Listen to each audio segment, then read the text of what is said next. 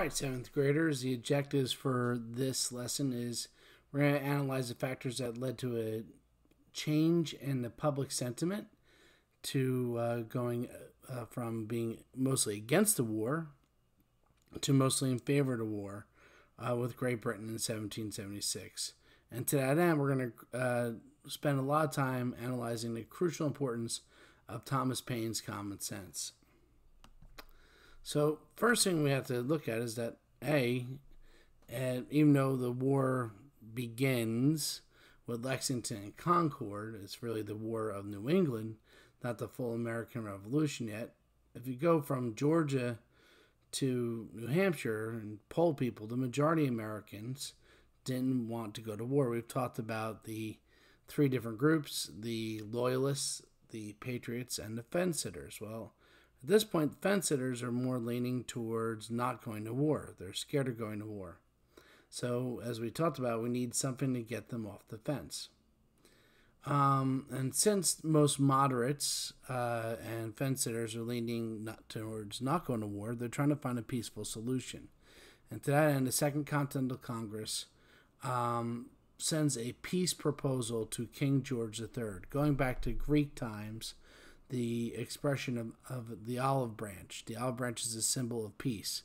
If two sides were at war and they wanted to end that war, or one side wanted to, they would send the other a olive branch as a means of saying, "Hey, I'm sorry." You know, it's kind of like if um, you and your friend get into a fight, and then uh, they send over your favorite uh, ice cream to your house, saying, "I'm sorry, let's make up." So the olive branches like that make up ice cream. Me personally, I'd rather you know ice cream than olive branch, but that's just me. So they send the olive branch petition to King George, and it says that they're loyalty to King George. They kiss up to him, mwah, mwah, mwah, we love you, and they say, could you please repeal the intolerable acts? If you do that, we'll do our we will do our part to rein in the insurrection in Massachusetts and will stop this conflict. Hoping that King George will come to his senses, he'll hold back on the intolerable acts. They then can say to Massachusetts, see, peace worked, stop the violence, kumbaya. But it doesn't work out that way. Uh, the king never reads the olive branch petition, but he responds to it. Um, his letter back uh, to the uh, Continental Congress is kind of reads kind of like how I, I, put the title of the slide of "You want peace? How about a piece of me, huh?"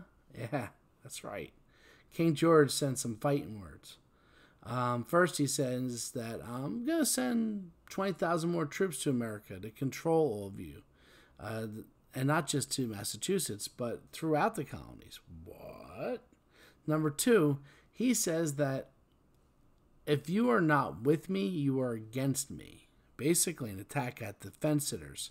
Colonists who refuse to stand against the insurrectionists, those who are in rebellion. If you refuse to stand against the patriots, you're standing with them, and you are a rebel yourself.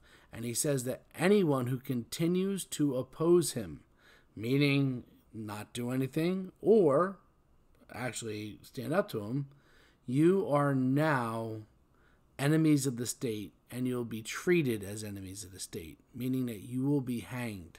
That's right. He threatens all the members of the Continental Congress if you don't do what I say, I'll have you hanged. Well, people usually don't take well to threats. And to that end, they vote to uh, establish the first United American Armed Force, the Continental Army, under the leadership of Hip Hip Hooray George Washington. You see, uh, King George III over here saying anyone who doesn't agree with me is a traitor and a scoundrel. And here you see George Washington uh, now dressed as the commander in chief of the Continental Army. Uh, he hasn't realized what he volunteered to get into, how bad of a state that the uh, militias in Massachusetts are, that he's now taken under his leadership as a united American army. But he's the man. And that's a big step towards moving forward as a nation and going to war with England, of making an army of all Americans.